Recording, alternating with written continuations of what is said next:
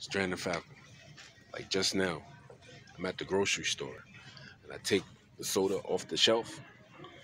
As soon as I take the soda off the shelf, I pass gas. This happens all the time. As soon as I do something, some fucking cracker came over here and spelled these bottles so that when I remove, because they know what I like to drink, when I remove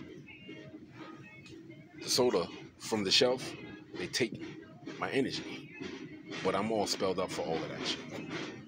So yeah, it's that that simple. They walk around in the store, touch items like they're gonna buy them, like they're looking at the label, and they spell it. They send energy into the freaking product. And that's what they do all day.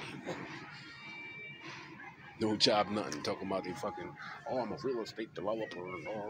This is what they do. So you have to spell yourself up before you eat something. Take the, the jar and you say, I erase all spells invisible and invisible from this. But you can set it up to automatically do it if you keep your coin on you. You know what I'm saying? That's that's how it works. That's the truth.